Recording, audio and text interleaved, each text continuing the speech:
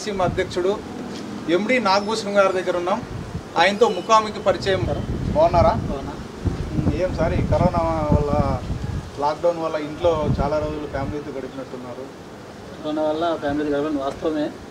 కానీ మన ప్రజలందరికీ కూడా ఈ యొక్క ఇబ్బందులు అందరికీ తెలిసిందే. ఇది మహమ్మారి కరోనా మహమ్మారి యొక్క ప్రభావము దేశవ్యాప్తంగా కాకుండా ప్రపంచవ్యాప్తంగా అందరికీ తెలిసిందే. ఈ యొక్క ప్రభావం అనేది గుట్లో కోలుకోలేము అని అనిపిస్తాం మాకైతే. ముఖ్యంగా ప్రజలు రైతులు విద్యార్థులకు చాలా తీవ్ర నష్టం. దీన్ని ఎదుర్కోవాలంటే మనం మనం కట్టడి చేసుకోవాలా? ముఖ్యంగా ఆర్థిక వ్యవస్థ అనేది చాలా వెనకబడిపోయింది. దీనివల్ల మొత్తం వ్యవస్థ అంతా చిన్నాభిన్నమైందని మాకు తెలిసిన విషయమే. కరోనా వల్ల కూడా కొద్ది వరకు మనుషుల యొక్క బంధాలు పెరిగాయని మేము చెప్పడం జరుగుతుంది.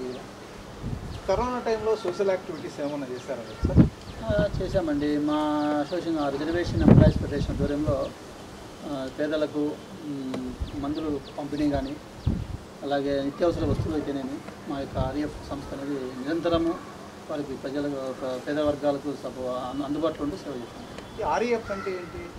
ఆర్ఎఫ్ అనేది రిజర్వేషన్ ఎంప్లాయీస్ ఫెడరేషన్ అండి. మేము స్టార్ట్ చేశాము. మా మా అధ్యక్షుడు రామచంద్ర గారు స్థాపించాము డాక్టర్ రామచంద్ర అని టీచర్ ఉద్యోగం చేస్తూ రిజర్వేషన్ ఎంప్లాయీస్ ఫెడరేషన్ రాష్ట్ర వ్యాప్తంగా ఈ మధ్యనే మన రాయలసీమ ఆఫీస్ కూడా ఓపెన్ చేశాను ఇక్కడ. అనంతపురం నడిపెట్టు దీని ద్వారా మా యొక్క ఉద్దేశాలు ఏమిటంటే డాక్టర్ బిఆర్ అంబేద్కర్ జ్యోతిరావు పూలే యొక్క ఆశయాలను కొనసాగిస్తూ ఎవరైతే రిజర్వేషన్ వర్గాల్లో వర్గాలు అడ్డం పెట్టుకొని లబ్ధి పొందారో ముఖ్యంగా ఆ యొక్క వర్గాల లబ్ధి పొంది ఆ వర్గాలకు సేవ చేయాలనే కాన్సెప్ట్ నేను తీసుకొచ్చాను రిజర్వేషన్ వర్గాలు ఆర్ఎఫ్ మీరు అన్నట్టుగా రిజర్వేషన్ అడ్డం పెట్టుకొని చాలామంది డబ్బులు వసూలు చేయడం కానీ వాళ్ళకి ఏదో మంచి చేస్తామనేటంటే కూడా ఈ ముసుగులో మీ ఆర్ఈఎఫ్ కావచ్చు లేకపోతే ఇంకా కుల సంఘాలు కావచ్చు లేకపోతే బీసీ సంఘాలు కావచ్చు చాలా చూశారు. మేము కూడా మీడియాలో చాలా మంది చూస్తున్నాం. ఈ కలెక్షన్ చేయడము వసూలు చేయడము వాళ్ళ పేరు చెప్పుకొని సంఘాలు లబ్ధి పొందినాయి కానీ మాకు ఎటువంటి లబ్ధి లేదనేది చాలా అపవాదం ఉంది. బీసీలో కావచ్చు ఎస్సీలో కావచ్చు ఎస్టీలో కావచ్చు ఎవరిలో ఉంది కానీ మీరు ఎటువంటి యాక్టివిటీస్ చేయడం మొదలు పెడతారు? చెప్పింది ఒక అంటే కొద్ది గతంలో కొంతమంది చేశారేమో నాకు తెలియదు కానీ మా మేమైతే ఎక్కడే కానీ డబ్బులు వసూలు చేయడం కానీ అలాంటి ఎప్పుడు పెట్టు- పెట్టుకోము. మేము కేవలం సర్వీస్ మోటివేషన్ ఎందుకంటే ఉద్యోగస్తులుగా మేము పనిచేస్తున్నాము.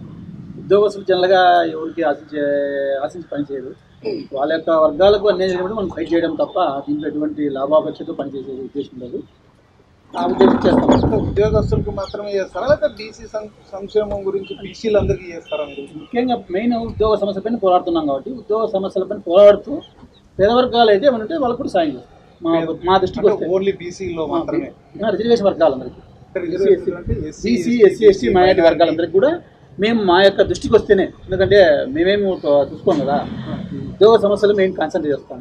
తర్వాత ఎవరైతే ఇబ్బందులు పడతారో అంటే ఎవరైతే రిజర్వేషన్ వర్గాలు యొక్క ఇబ్బంది పడినప్పుడు వాళ్ళు మా దృష్టికి వచ్చినప్పుడు ఖచ్చితంగా మా యొక్క సపోర్ట్ మా యొక్క సహాయం పడుతుంది గవర్నమెంట్ ఇప్పుడున్న పరిస్థితుల్లో కరోనా ప్రభావం వల్ల ఆర్థిక వ్యవస్థ చాలా దెబ్బతిందని చాలామంది ఎంప్లాయీస్ ఏమంటే డిఏ ఇవ్వలే అరియర్స్ ఇవ్వలే శాలరీ రావట్లే ఎందుకంటే ఉద్యోగస్తులుగా ఎందుకంటే ఒక మనం కరోనా దృష్టిలో పెట్టుకుంటే మన ప్రభుత్వాన్ని గట్టిగా డిమాండ్ చేయకూడదు. ఒక ఉద్యోగస్తులుగా. ఎందుకంటే ఇప్పుడు ఆర్థిక వ్యవస్థ మనకు దెబ్బతినింది. ఇప్పుడు మనం పని నేను చెప్పేది ఏంటంటే ఉద్యోగస్తుని బాధ్యతగా మనం ఎంతవరకు డ్యూటీ చేస్తున్నాం? ఆ. ఉద్యోగం డ్యూటీ చేసినాకనే మనం డబ్బులు అడగాలి అంతేగాని మనం డ్యూటీకే పోలేదు సగం. యాక్చువల్ డ్యూటీలు పోలే మనము. దాదాపు మనకు రెండు నెలలు హాఫ్ హాఫ్ శాలరీ ఇచ్చారు. మేము డ్యూటీ సరి చేయడం లేదండి. మనం వాస్తవం ఒప్పుకోవాలి మనం ఉండే వాస్తవం. కేవలం మనం జీతాల కోసమే పని చేయకుండా సామాన్య ప్రజల కోసం ఆలోచించాలి మనం. సామాన్య ప్రజలు వాళ్ళే చేస్తారు ఇప్పుడు లేబర్ లేబర్ దొరకలేదు అనుకో నెలకు రోజుకు మూడు వందలు సంపాదించేవాడు ఇంటికాడ ఉన్నాడు వాడికి కూడు బట్ట లేదు సరిగా. వాని కోసం ఆలోచిద్దాం మనం. అందుకే కదా మేము రిజర్వేషన్ ఎంప్లాయ్ తరఫున మేము ఎన్నో సేవా కార్యక్రమం చేశాను ఇంతకు చెప్పాను. వాళ్ళ కోసం పని చేస్తాం. మీ చదువు చదువు నేనంతా కూడా Vinay Kumar high school government high స్కూలే. అనంతపురం చిన్మయ్ నగర్ రాప్తాడ్ కాన్స్టిట్యూన్స్లో వినయ్ కుమార్ హై స్కూల్ అని వెల్లాడ్జి school back side Telugu medium Vinay Kumar VK చూసుకుంటారు. అప్పట్లో ఫేమస్ స్కూల్ అది. ఫ్యామిలీ కాదు నాన్న కూడా ఉద్యోగస్తుడు. నాన్న ఉద్యోగం నుంచి నేను ఈరోజు నేను ఉద్యోగంలో ఉన్నంటే నాన్న గురించే నాకు. నేను కారణం. మా నాన్నగారు వీఆర్ఎస్ ఆరోగ్య వైద్య బాగాలేనప్పుడు నాకు వీఆర్ఎస్ పెట్టాను డిగ్రీ కంప్లీట్ చేయడం వల్ల ఆ రోజు వీఆర్ఎస్ తీసుకొని నేను ఉద్యోగం చేయడం జరిగింది. అలాగే కంటిన్యూ అవుతున్నాను సంఘాల్లో చదువుకునేటప్పటి నుంచి రాజకీయాల మీద ఏమైనా ఇంట్రెస్ట్ ఉందా? అప్పటి నుంచి ఏమైనా రాజకీయ నాయకుడు మాదిరిగా ఈ స్కూళ్ళల్లో ఈ ఏఎస్ఎఫ్ కానీ లేకపోతే ఇంకో ఎన్ఎస్యు కానీ ఇలాంటి దానిలో కొంచెం పని చేశారని విన్నాం. మీరు చెప్పినట్ల నిజమే. ఏ అప్పుడు నేను ఏబీబీలో ఉంది యాక్చువల్గా నేను విద్యార్థి దశలో ఇంటర్మీడియట్లోనే నేను అక్కడ లీడర్గా ఎక్స్పోజ్ అయ్యాను.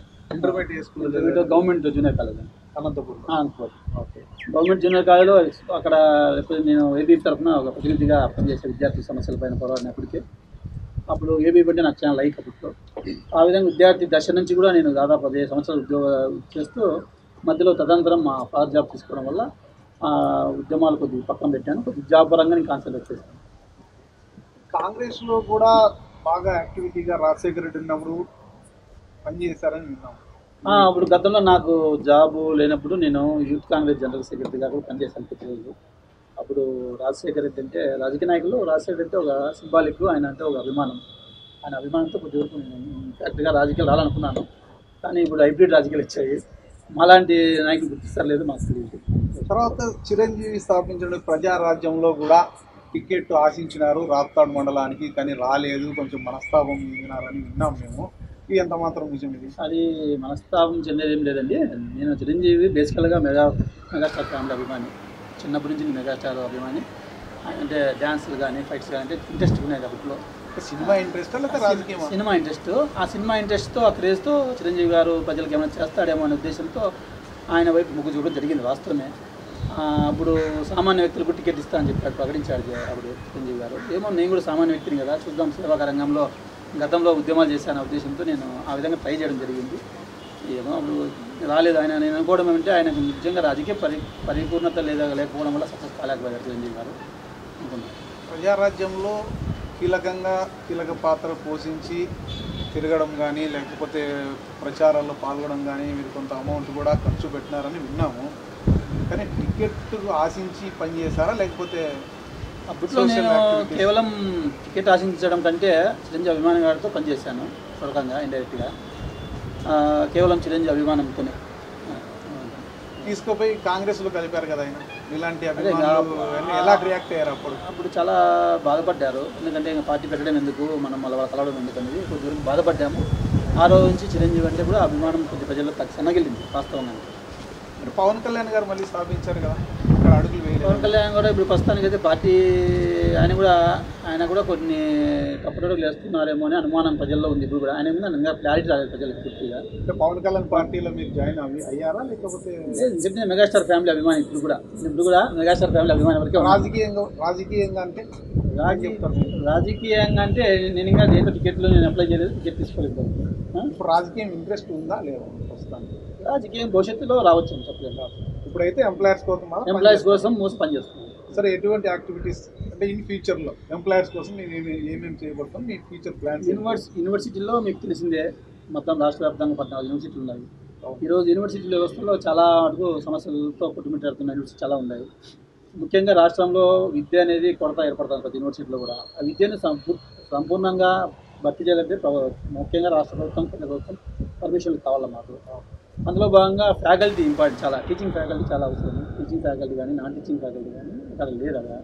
వాళ్ళు భర్తీ చేయడానికి ప్రభుత్వం కానీ ఉన్నటువంటి ఉన్నతాధికారులు ఛాన్సలర్స్ కానీ రిజిస్టర్స్ కానీ వాళ్ళు కొంచెము చొరవ చెప్తే వాళ్ళకు యూనివర్సిటీ భవిష్యత్తు అనేది బాగా ఉంటుందని మాకు అభిప్రాయం. ముఖ్యంగా టైమ్ స్కేల్ ఎంప్లాయీస్ మా దాంట్లో ఉన్నారు. దాదాపు రాష్ట్ర వ్యాప్తంగా కూడా మొన్ననే ఇంతకుముందు కోర్టు కూడా ఇచ్చింది వాళ్ళకు. దాదాపు ఆరు యూనివర్సిటీలు కోర్టుకి వేశారు ఆ టైం స్కేల్ పర్మనెంట్ చేయమని వాళ్ళ ఉద్యోగులు. అది కూడా ఇంకా కోర్టులో నడుస్తుంది కోర్టులో తీర్పిచ్చింది. అధికారులు దాన్ని ఇంకా జ్ఞాపం చేస్తున్నారు. తొందరలోనే అధికారులతో పూర్తి చేస్తారని మేము ఆశ ఆశిస్తున్నాం. ఈ ఆర్ఈఎఫ్ ద్వారా కూడా ఏమన్నా యాక్టివిటీస్ మొదలు పెట్టి ఇంకా ఏమన్నా ఫ్యూచర్లో? అంటే ఈ ఆర్ఈఎఫ్ రిజర్వేషన్ ఎంప్లాయీ ఫెడరేషన్ స్థాపించారు కదా రామచంద్ర గారితో కలిపి మీరు పని చేస్తున్నారు మీ టీం అంతా ఉంది. అంటే భవిష్యత్తులో ఎంప్లాయర్లకి ఎంప్లాయర్స్కి మేము ఇది చేస్తున్నాము మేము ఈ భరోసా ఇస్తాము మేము అంటున్నాము అని ఏమన్నా ఫ్యూచర్ ప్లాన్స్ ఏమైనా చెప్పగలుగుతారు? ఖచ్చితంగా అండి. ఎందుకంటే ఉండేదే మొత్తం రాష్ట్ర వ్యాప్తంగా కానీ దేశవ్యాప్తంగా కానీ eighty percent of the people reservation వర్గాలు ఉన్నాయి? ఇందులో బీసీ ఎస్సీ ఎస్టీ మైనార్టీ వర్గాలు. జగన్మోహన్ రెడ్డి గారు చెప్పడం కూడా నూటికి యాభై శాతం రిజర్వేషన్ పోషిస్తుంటాను దాన్ని స్వాగతిస్తున్నాము. ఎందుకంటే ఈ సీఎం యంగ్ డైనమిక్ సీఎం గారు మనకు రావడం మంచిదే. ఆయన కూడా ప్రతి చోట కూడా ఫిఫ్టీ పర్సెంట్ భర్తీ చేస్తున్నారు. ప్రైవేట్ రంగాల్లో కూడా. దాన్ని కూడా ఒక మనం స్వాగతించాల్సిందే. కాబట్టి దీనివల్ల ఈ మధ్య కాలంలో చూస్తే మనకు నాలుగు లక్షల పోస్టులు చేశారు. ఇది దేశంలోని చరిత్రలో జగన్మోహన్ రెడ్డి ఇచ్చిపోతారు లోకంగా. బట్ దీంట్లో కూడా రిజర్వేషన్ వర్గాలు ఎక్కువ మంది వచ్చారు కాబట్టి మేము రిజర్వేషన్ వర్గాలు ఎవరైతే ఉన్నారో వాళ్ళ హక్కులు కానీ వాళ్ళ బాధ సాధకాలు కానీ వాళ్ళ ముందుండి మేము ఖచ్చితంగా సాధకాలు వహిస్తామని మేము చెప్తున్నాం. ప్రస్తుతం సీఎం గారు పని ఎలా ఉంది అని అడిగితే ఏం చెప్తారు? ప్రస్తుతం సీఎం గారు అడుగులు నాకు తెలిసి వరకు నా అభిప్రాయం చెప్తున్నా వ్యక్తిగత అభిప్రాయం. ఆయన దూరాలోచనతోనే ముందు చూపు ఆలోచనతోనే ఆయన నిర్ణయాలు తీసుకుంటారని అనిపిస్తాను ఎందుకంటే దూరం ఆలోచన దూరాలోచన? దూరం ఆలోచన దూరం దూరం ఆలోచనతోనే అంటే భవిష్యత్తు ప్రజల యొక్క భవిష్యత్తు కోసం దూరం ఆలోచన భవిష్యత్తు దృష్టిలో పెట్టుకొని ప్రజల యొక్క దృష్టిలో పెట్టుకొని ఆ నిర్ణయాలు ఉంటాయని నేను అనుకుంటాను ఎందుకంటే ముఖ్యంగా ఈ రాజధాని విషయంలో చూస్తే గతంలో అంటే నేను ఒక ఉద్యోగస్తులుగా చెప్పకూడదు ఆయన చెప్తున్నా మీకు అడుగుతున్నారు కాబట్టి. గతంలో చంద్రబాబు నాయుడు గారు చేస్తామన్నారు అది అమరావతి కంపెనీస్ కొద్ది వరకు ఆయన చేస్తాన్నాడు కానీ దాన్ని పూర్తి దా దాచలేకపోయారు. దానివల్ల ఆయన ఫెయిల్ కావచ్చు ఫెయిల్ ఉండొచ్చు. అమరావతి మార్చితే బాగుంటుందా? రాజధాని అక్కడే ఉంటే బాగుంటుంది? మీ అభిప్రాయం చెప్పండి. అంటే అభిప్రాయం మార్చనే కాదు మనకు ప్రస్తుతానికి గవర్నమెంట్ చెప్పింది అన్ని ప్రాంతాల అభివృద్ధి కావాలని కోరుకుంటున్నాం. అది హండ్రెడ్ పర్సెంట్ ప్రతి ఒక్కరు కోరుకుంటుంది ఎందుకంటే రాయలసీమలో హైకోర్టు పెడతారు వద్దంటామని చెప్పండి మనం ఖచ్చితంగా కావాల్సిందే కదా. దాన్ని వద్దని ఎట్లా కాబట్టి ఆ రాజధాని మార్చడం మార్చకపోవడం అనేది అక్కడ ప్రజల వ్యతిరేకం కావచ్చు అక్కడ ఉండొచ్చు కాకపోవచ్చు. కాకపోతే మనం మన కోరిక ఏమంటే ఎవరు వచ్చినా ముఖ్యమంత్రులు ఈ రాష్ట్రాన్ని అభివృద్ధి అన్ని అన్ని విధాల అన్ని ప్రాంతాల అభివృద్ధి చేయాలని కోరుకుంటున్నాం. అన్ని ప్రాంతాల చెప్తే బాగుంటుంది. బాగుంటుందని మా. జగన్మోహన్ రెడ్డి గారి గురించి రెండు ముక్కలు చెప్పమంటే ఏం చెప్తారు? జగన్మోహన్ రెడ్డి నాకు తెలిసిన వరకు చిన్న వయసులో ముఖ్యమంత్రి అయ్యాడు. కొద్ది వరకు నిజాయితీగా పనిచేస్తానని అనుకుంటున్నాను. ఇప్పుడున్న ప్రభుత్వం పరిపాలన బాగుందంటారా? ఖచ్చితంగా హండ్రెడ్ పర్సెంట్. ఎందుకంటే ఇప్పుడు మనము వెంటనే ఇప్పుడు ఒక అమ్మాయికి పెళ్ళి కట్టినప్పుడు వెంటనే కొడుకు పుడతానే కొడుకు పుట్టాలంటే కాస్త సాధ్యం అది సంసారం చేయాలా కాపురం చేయాలా? కొద్దిగా టైం పడుతుంది. ఆ, అందులో భాగంగా జగన్మోహన్ రెడ్డి వన్ ఇయర్ ఎక్కినాడు. మనము కొన్ని విమర్శలు ఉంటాయి సద్వినం ఉంటాయి. ప్రజలకు అందరికీ న్యాయం చేయలేకపోవచ్చాము కొన్ని సందర్భాల్లో. కొద్దివరకు ఆయన నిర్ణయాలు అయితే బాగానే ఉన్నాయి. ఉద్యోగపరంగా అయితేనేమి ఆరోగ్యపరంగా నిన్న నిన్న మనకి ఇస్తే one nought four one nought eight vehicles ఇచ్చారు ఈ సమయంలో కరోనా టైంలో వెహికల్స్ రావడం గ్రామీణ ప్రాంతాల్లో ఒక కరోనా మనిషి వస్తే నాకు వంటరాని అంటరాని మనిషి వస్తున్నారు అది చాలా తప్పండి. అటువంటి సమయంలో ఒక వెహికల్ పుట్టాలన్నా ఒక వెహికల్లో ఎక్కించుకోవాలన్నా మనిషిని ఆపితే ఎక్కించుకునే పరిస్థితి లేదు గుండె పరిస్థితి.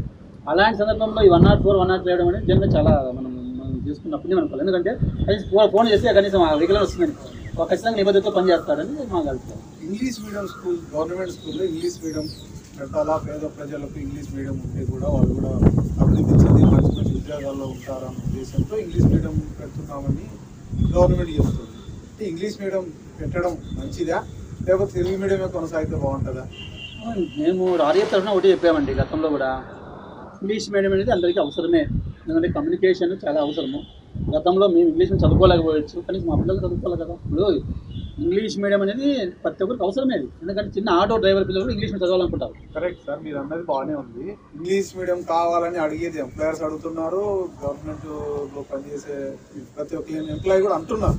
కానీ ఎంప్లాయర్స్ పిల్లలు గవర్నమెంట్ స్కూల్లో చేరకపోవడం వల్ల విద్య అనేది పేద పిల్లలు చేరుతున్నారు దాన్ని అడిగేటోళ్ళు ఎవరు లేరు. వాళ్ళు ఎవరు స్కూల్ గురించి పట్టించుకోవట్లేదు. మీలాంటి ఎంప్లాయర్స్ గవర్నమెంట్ స్కూల్ ఎందుకు చేర్పించట్లేదు? మంచి ప్రశ్న రెడ్డి గారు. ఇప్పుడు జనరల్గా ఏంటంటే అది ముఖ్యంగా టీచర్స్ ప్రభావం. టీచర్లు మెయిన్ దాన్ని యొక్క ఉద్యమాన్ని చేపట్టాలి. ప్రతి ఒక్క ప్రభుత్వ ఉద్యోగి ప్రతి ఒక్క టీచర్ కూడా ఈ- విధంగా ఆలోచిస్తే అటువంటి నాలో కూడా మార్పు వస్తుంది. రాజకీయ నాయకులు కూడా. ఎంప్లాయీస్ అందరూ కూడా మనం ప్రభుత్వాన్ని. ఎంకరేజ్ చేస్తూ ఎందుకంటే మనం ప్రభుత్వ శాలరీ తీసుకుంటున్నాము మన ప్రభుత్వం మనం చేయలేని పని బయట వాళ్ళకి చెప్తున్నాం ప్రైవేట్ కాంట్రాక్ట్ యాక్చువల్గా గవర్నమెంట్లో పనిచేసే ఉద్యోగస్తులే మెరిట్తో వచ్చింటారు. టెస్ట్ పెట్టి వచ్చింటారు కాబట్టి దీనిపైన చాలా గతంలో కూడా చాలా చర్చ జరిగాయి. కాకపోతే గత ప్రభుత్వాలు ఏం చేశాయంటే కార్పొరేట్ వ్యవస్థని ఎంకరేజ్ చేస్తాయి ఇది పూర్తిగా గత ప్రభుత్వం నువ్వు కార్పొరేట్ ఇంజనీరింగ్ కాలేజ్ పెడతావు గవర్నమెంట్ కాలేజ్ దాని తోడు దాని కూడా గవర్నమెంట్ ఇంగ్లీష్ కాలేజ్ పనిచేస్తుంది అది కూడా తప్పదు అంటే ఒక పక్క ప్రభుత్వం ఎంకరేజ్ చేస్తా ఉంది కార్పొరేట్ వ్యవస్థని. ఒక పక్క గవర్నమెంట్ స్కూల్ పంపించమంటుంది అప్పుడు ప్రైవేట్ రంగాన్ని ఎంకరేజ్ చేసేప్పుడు అది ప్రభుత్వం తప్పవుతుంది. జగన్మోహన్ రెడ్డి గారి గవర్నమెంట్ ఏం చెప్తుందంటే ప్రైవేట్ స్కూల్స్లో కానీ కార్పొరేట్ స్కూల్ కానీ ఫీజులు ఫీజులు తగ్గించేసి ఒక స్కేల్ తీసుకొచ్చి ఈ ఈ స్కూల్కి ఇంతే ఉండాలా? దాని పరిమాణాలను బట్టి ఎంత స్కూల్ ఉన్నాయి ఎంత స్కూల్ ఎంత దానికి ఎక్విప్మెంట్స్ ఉంటాయో దాని ప్రకారం ఒక స్కేల్ తీసుకొస్తాము దీనికి ఇంతే ఉండాలా అంటున్నారు. మంచిది మంచి పరిణామమే. ఎందుకంటే దానివల్ల పిల్లలు పేద నిజమైనటువంటి పేదవాడు అందరి విద్యని అందరి దక్షపంగా తయారైంది. ఫీజులు తగ్గిస్తే మంచిదంటారా? ఫీజులు కార్పొరేట్ స్కూల్స్లో ఆ, ఇప్పుడు తగ్గిస్తే మంచిదే కదా. తగ్గించాలా? తగ్గించాలా? తగ్గించాలా. అంటే ప్రతి ఒక్కరు విద్య అనేది సమానంగా అందుతుంది భవిష్యత్తులో ఈ విద్య గురించి కానీ రిజర్వేషన్స్ గురించి కానీ ఎటువంటి పోరాటాలు ఉంటాయి? మీ ఖచ్చితంగా మా యొక్క రిజర్వేషన్ ఎంప్లాయీస్ ఫెడరేషన్ తరఫున ఏవైతే భారత రాజ్యాంగం భారత డాక్టర్ బిఆర్ అంబేద్కర్ యొక్క రాజ్యాంగం ఏ విధంగా ఉందో దాన్ని సక్రమంగా అమలు చేయాలనేది మా కోరిక. ఇప్పుడు కూడా కొన్ని కోర్టులు చూస్తే అసలు నిబంధనలు పాటిస్తానా లేదా అనే అభి అనుమానం ప్రజల్లో ఏర్పడతా ఉంది. అవి కూడా మేము అన్ని క్షుణ్ణంగా మా యొక్క వర్గాలకు తెలియజేసే బాధ్యత మా. ఎందుకంటే రిజర్వేషన్ వర్గం పేరు చెప్పుకొని మేము ఉద్యోగం చేస్తున్నాం ఈరోజు కనీసం మా వర్గాల కోసము మేము చేసినప్పుడు వాళ్ళకంతా న్యాయం చేసే బాధ్యతలు మా మీద ఉంది ధన్యవాదాలు నాగభూషణ్ గారు. థ్యాంక్ యూ మంచి సమాచారం చెప్పారు మాకు. భవిష్యత్తులో మీరు మరింత ఉన్నత పదవులు రాజకీయ ప్రవేశము మంచి పదవుల్లో ఉంటారని ఆశిస్తున్నాము. ధన్యవాదాలండి. థ్యాంక్ యూ చూశారు కదా ఎండి నాగభూషణ్ గారితో ముఖాముఖి కార్యక్రమం. మరిన్ని ముఖాముఖి కార్యక్రమాలతో మీ ముందుకు వస్తాం. Anantapuram live news. ధన్యవాదాలు.